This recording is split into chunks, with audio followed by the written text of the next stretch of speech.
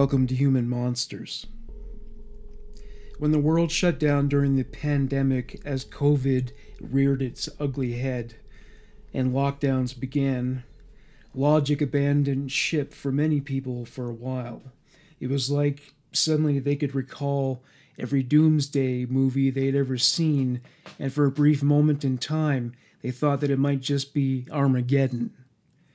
And thereby Armageddon as they knew it. Thank goodness common sense prevailed, but following the breaking news on people's phones, I realized what a tremendous effect this sudden change of reality must have had on those already battling mental illness or other emotional and psychological challenges. What I am going to tell you is, in my view, the story that stuck out the most as an example of how people were affected by the pandemic and all the changes it brought about. Now that people are being vaccinated and life is returning to normal, I feel more comfortable with the story I'm about to tell you. So, pack your imaginary travel bag and don't forget to dress warm because today we're going to Canada.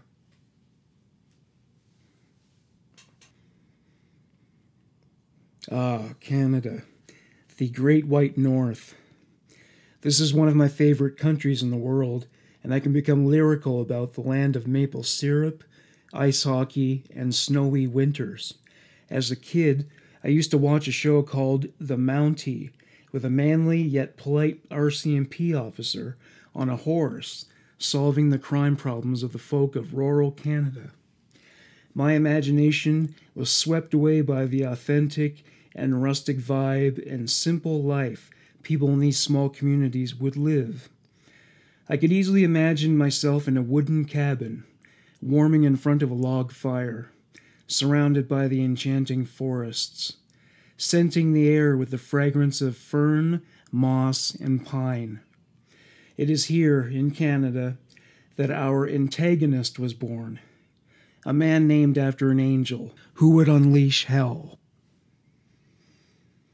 On the 5th of July, 1968, Paul Wortman and his wife welcomed their son, Gabriel, into the world.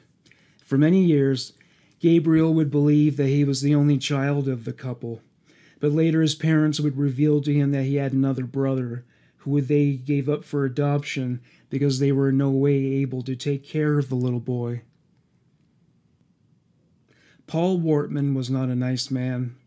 He is described by relatives rather unflatteringly as a manipulator, a petty thief, and an abuser. Like his father and his grandfather before him, he solved problems with his fists, and, once in a rage, your age or gender did not matter. During one violent episode, Neil, Paul's uncle, who was a boarder in Paul's house, witnessed Paul straddling while choking his wife, and Gabriel, still a toddler, watching in silent shock. Despite the domestic violence he frequently witnessed, he did well at school and was, by all accounts, well adjusted. He had two uncles in the Royal Canadian Mounted Police, and he always expressed the desire to become an RCMP officer even depicting this dream in an annual yearbook below his picture.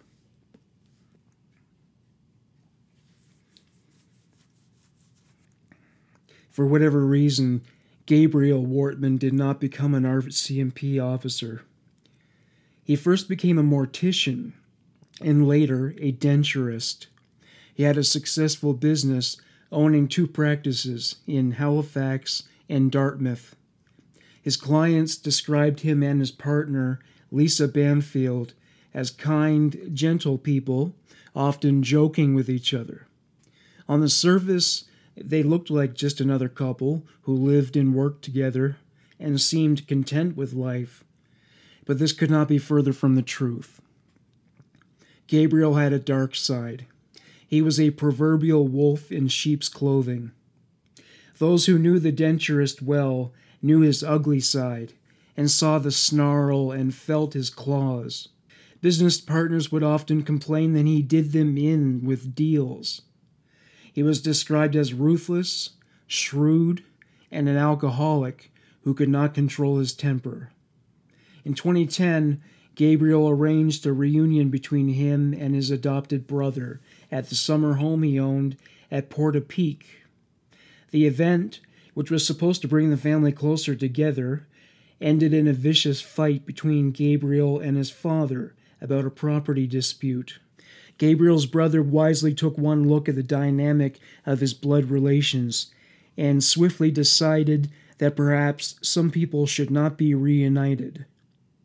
After this event, Gabriel was reported to have threatened to kill both his parents, but apart from the complaint being documented, no other actions were taken.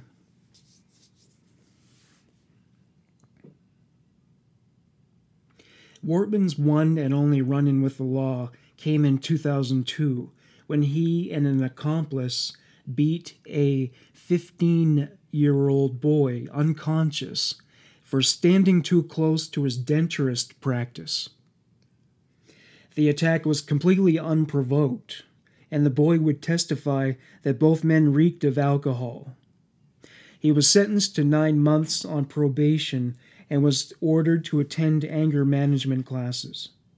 He was also prohibited from having any firearms or ammunition. His arsenal, to say the least, was incredibly impressive. Some firearms had even been smuggled to him from America after being purchased at gun shows.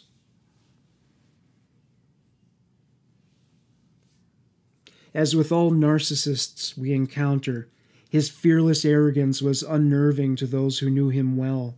His inflated ego was amplified by his substantial wealth that, by all accounts, he did not always obtain with integrity. Relatives would describe him as a career criminal who never got caught.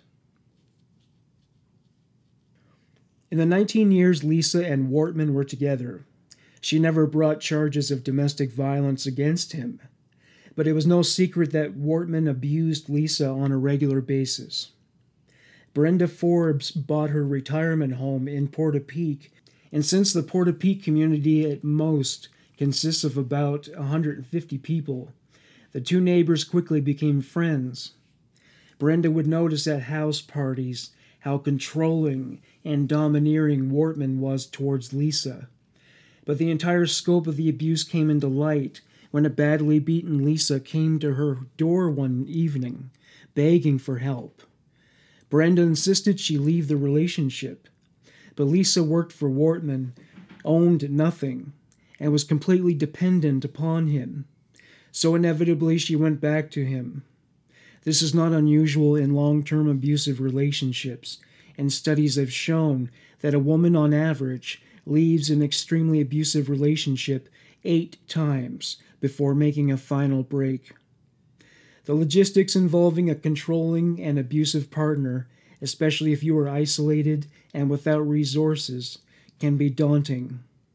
Wortman, however, saw Brenda's interference as an unforgivable slight. Lisa was forbidden to have any communication with her, and Wortman used soft intimidation tactics until Brenda no longer felt comfortable in her own home. She finally had to sell her dream retirement home and moved away from Portapique. Most of the time, Lisa and Gabriel lived in their apartment above the denturist clinic in Dartmouth. A massive, toothy smile advertising the services of the denturist hung above the entrance to the clinic. The sign was a landmark in the town. It was, however, the summer home in Portapique that Gabriel took the most pride in. He went all out in refurbishing the cottage, and it was evident that he was a collector. He seemed to have a special interest in collecting anything related to the RCMP. Amongst his prized possessions were the four RCMP vehicles he bought on auction, uniforms of officers he had systematically collected piece by piece over the years, and a very impressive firearm collection, which he would show off at any given moment.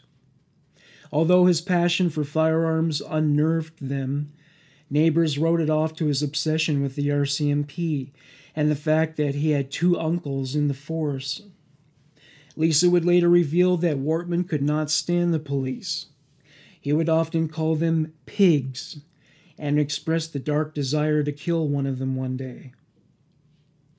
By the end of 2019, neighbors became concerned with Wortman stockpiling gasoline and propane tanks, and, even more disturbing, he bragged that he had hydrochloric acid in the event that he might need to dispose of bodies. Wortman's rusty hinges were concerning, but without any evidence that a crime was being committed, the allegations were never investigated. If they had been, perhaps police would have been able to discover the arsenal of firearms and ammunition Wortman had collected, pretty much all without a license, and perhaps his entry into the books of history would read differently. As more and more cases of people contracting the COVID 19 virus increased and the first deaths were reported, the government of Canada like the governments of many countries across the world, started implementing measures to restrict the spread of the disease. Businesses were ordered to close down, gatherings were restricted, and traveling was not allowed. People were ordered to stay at home and isolate until further notice. An almost apocalyptic aura filled every corner of the world. And for survivalists like Gabriel, it meant preparing for the end of the world. He stated as much in an email he sent to a friend, ending with the words, Thank God we are well armed. It would also emerge that he was concerned with the loss of income his clinics would have to endure while closed. While his assets estimated in the millions, it seemed a loss of income should be the least of his concerns. His paranoia increased, and during March 2020, he withdrew almost half a million dollars from his bank, which he buried in the fire pit at his home in Portapique. Still, the residents of Portapique viewed the denturist as nothing more than an eccentric and often difficult neighbor.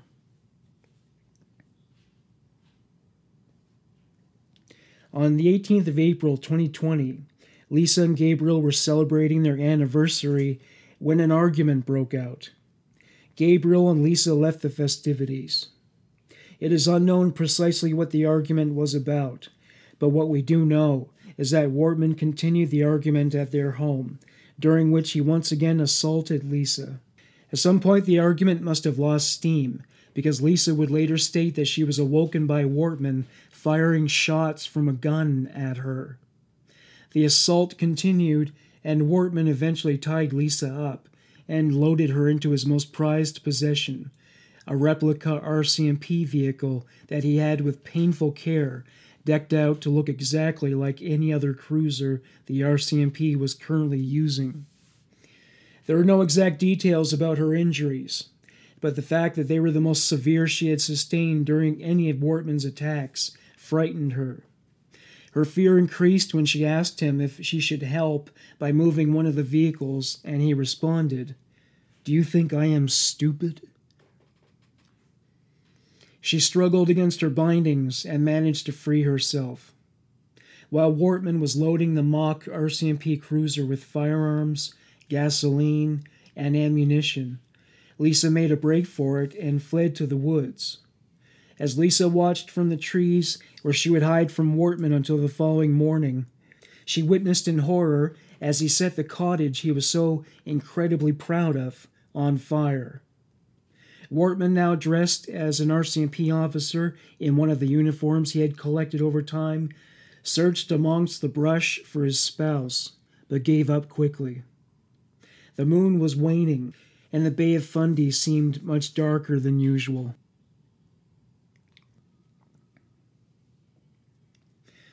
Capone had his goons dressed as policemen to execute the St. Valentine's Massacre in 1929. It was 10 p.m., and the Nova Scotia nightmare had just begun.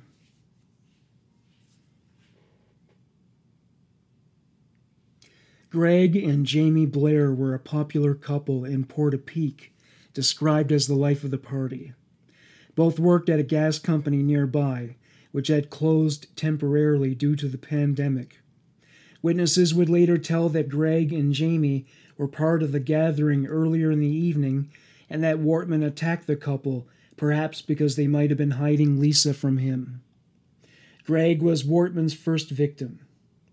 Wortman gunned him down while he was standing on his veranda, possibly curiously looking at the fire that had erupted from Wortman's cottage.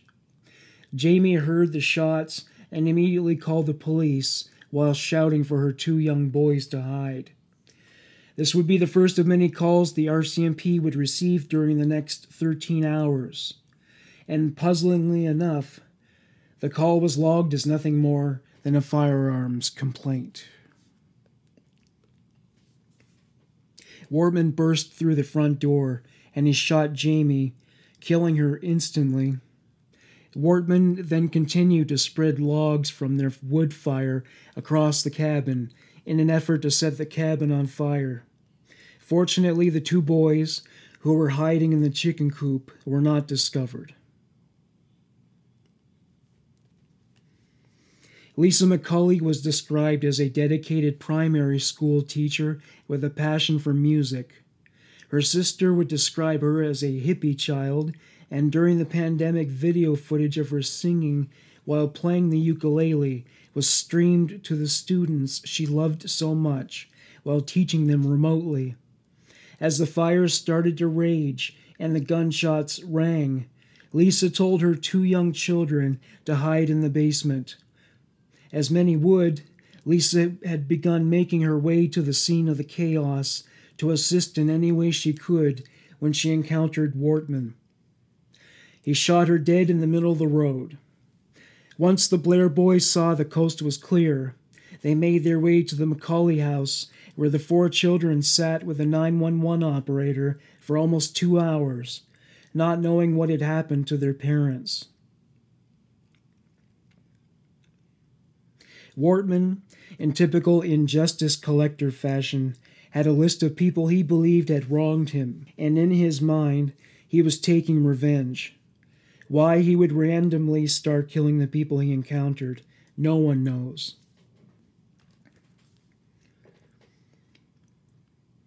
Conflict with Wortman seems to be a running theme in all Wortman's interactions. From what we can gather, Wortman tried to buy Aaron Tuck's cottage a couple of years previously. Wortman tried to do him in. Aaron fought back, and ever since the two had bad blood between them. Aaron, his wife Jolene Oliver, and their daughter Emily Tuck were a close knit family.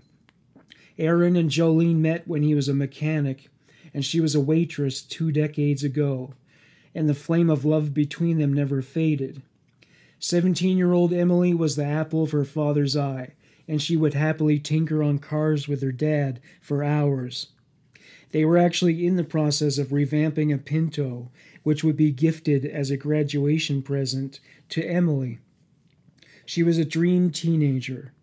Her down to earth temperament set people at ease, and judging by the performance she gave during the Tuck family's contribution to the Nova Scotia kitchen party on Facebook, you can tell she is an accomplished violinist. The chords from that specific YouTube video would follow me long after my research into this story was gone. The family was unprepared for the attack, and Aaron, Jolene, and Emily were gunned down in their home.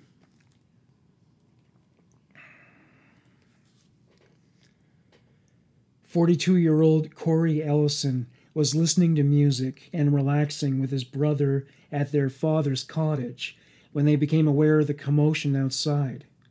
Concerned by the increasing fires in the area, Corrie decided to have a closer look, despite his brother Clinton telling him not to. Corrie did not make it far from his father's house before Wortman gunned him down. Clinton, becoming uncomfortable with the length of time his brother was away, decided to go and look for him. His shock at finding the body of his brother on the side of the road was quickly replaced with panic as he realized that the gunman who killed his brother was bobbing his flashlight across the terrain, evidently looking for more victims. Like Lisa, Clinton looked to the forest for protection and would later tell police of the terrifying experience, waiting for two hours in the icy cold while a madman was hunting people as if they were prey.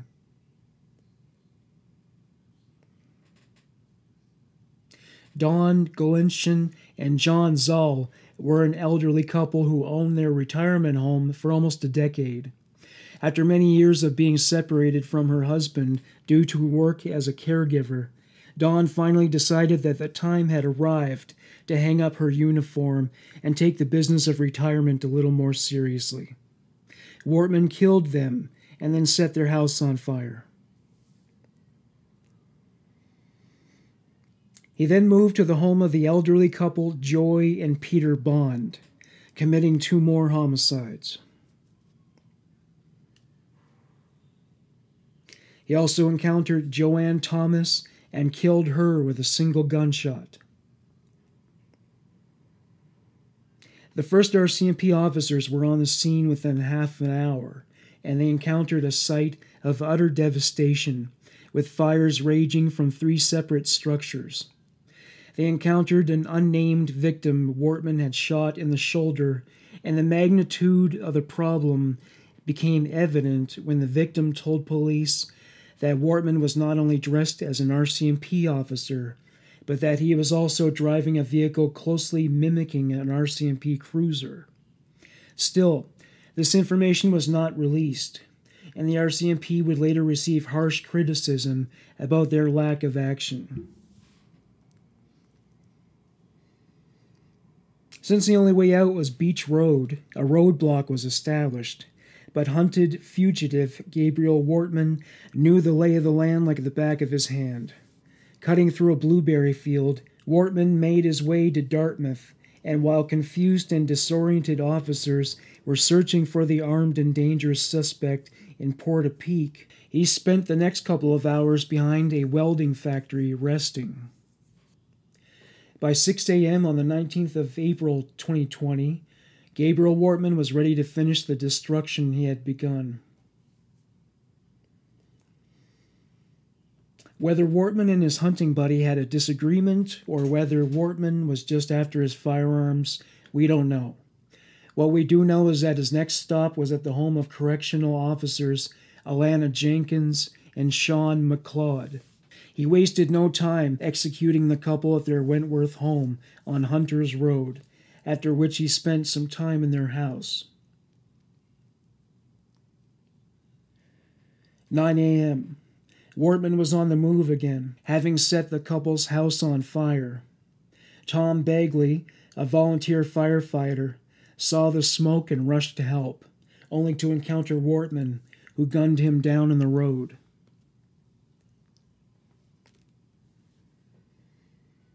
No one expected a madman armed to the teeth and dressed as a police officer would be roaming the streets of Nova Scotia. As the bright spring morning unfolded, drivers, pedestrians, and residents were unaware that something had happened in Portapique of such ominous and destructive proportions that it would exceed the diminutive community's ability to heal. In the meantime, life in the small scattered communities continued as if it would on any given Sunday. 64 year old Lillian Hisloff was taking her usual Sunday morning walk when she crossed paths with Wortman. Like the others, he fatally wounded her and left her to die at the side of the road. Next, he shot and killed a Victoria Order of Nurses member, Heather O'Brien, on her way to visit the first of her eight children, the way she always had on her days off. 33 year old Christine Beaton would suffer the same fate as she made her way to work that morning. This young mother was pregnant at the time she was murdered. Officer Chad Morrison, an 11 year veteran of the RCMP, had arranged to meet Officer Heidi Stevenson, a 20 year RCMP veteran along Route 2. Officer Morrison saw what he presumed was Officer Stevenson's vehicle, but by the time he realized he had been ambushed, he had sustained two gunshots. He was, however, one of the fortunate ones, and he was able to drive himself to safety. Officer Heidi Stevenson was not as fortunate. Her cruiser collided with that of Wortman, and she was killed in the ensuing gun battle.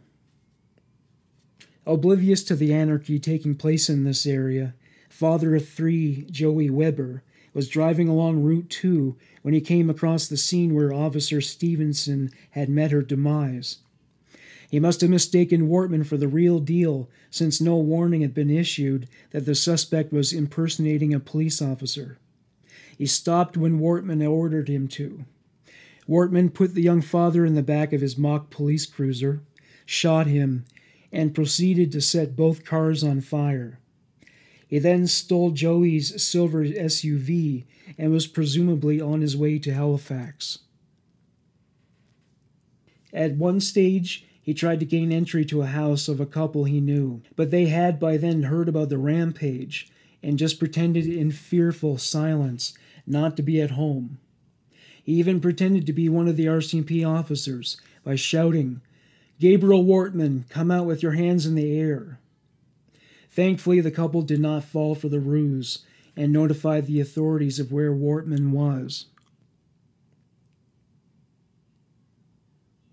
Single mom Gina Goulet was, however, not as lucky. She was also a denturist, but it is unclear what, apart from their occupation, could connect them. This survivor of cancer twice would be the last of Wortman's victims. Wortman stole her Mazda 3, but at the truck stop at Enfield, he realized he needed to put gas in the vehicle. Quite by accident, Two RCMP officers pulled in at about the same time. They immediately recognized him, and a gunfight ensued, during which Gabriel Wortman was shot and killed, ending the worst spree killing in the history of Canada thus far.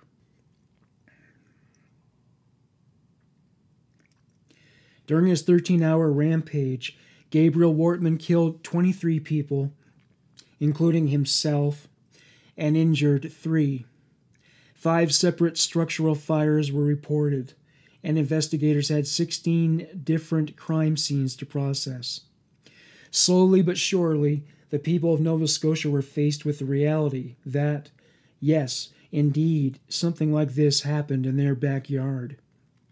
Families were informed of the death of loved ones, and you can tell by the on camera interviews that Canadians were struggling to come to terms with what happened. Virtual vigils were held observing the no contact rule and the fact that people could not touch, hug, or give any other form of physical comfort affected Nova Scotians tremendously. All the people who died that day, except for Wortman, were good, solid, salt of the earth people. We are talking about a teacher, two nurses, and a caregiver, an RCMP officer, a volunteer fireman, Across the province, people would pay homage to the victims in their own special ways. Ambulances would let their sirens blare, bells were tolled, and the sad and lonely sounds of bagpipes acknowledged the pain and sorrow Canadians felt during this time. I am not going to spend too much time on what the RCMP did right or wrong. Clearly, they dropped the ball by not releasing details such as that the gunman was dressed as a police officer, and lives could definitely have been saved by people staying clear and out of his way. Three people, including Lisa Banfield, Wortman's partner, were arrested for assisting him in illegally procuring firearms and ammunition. But other than that, nothing more came from the inquiry. The talking heads would, however, highlight the fact that RCMP officers are underpaid and overworked, and that the entire structure of the RCMP should be reviewed. Several lawsuits representing the victims of the Nova Scotia massacre have been filed, but the outcome of these suits are not public. No investigation, inquiry, or review, no matter how extensive, could explain the whys and hows loved ones were left to ask. In Dartmouth, the big sign with a toothy grin above Wortman's clinic was finally taken down after the community petitioned the town council to remove it. Just like other shared structures in Portapique, it reminded people of the devastation and heartache Wortman left in his wake. Many of the folk in Portapique had opted to rather sell their properties because the memory of those two days was everywhere they looked. In a small community like theirs, it's impossible not to be affected by even one murder, let alone 22.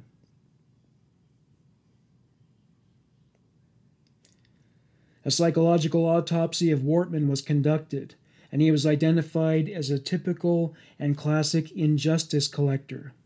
He fit the profile of a middle aged man with anger issues and a list of small and large grievances that he had accumulated over the years. It was obvious that he had planned the attacks, and the trigger more than likely was the argument he had with Lisa. Lisa would later tell police that the COVID 19 pandemic played a role in the unraveling of his already fractured mind. If you are anything like me, you can handle anything done to a human being, but the moment you hurt an animal, I lose my mind. I have some good news to end this episode on. Though Wortman had shot the Blair family's dog as well as Gina Goulet's dog, named Ginger, a veterinarian managed to save the lives of both dogs, and Ginger now lives with Gina's daughter. The two orphan Blair boys were reunited with their furry friend.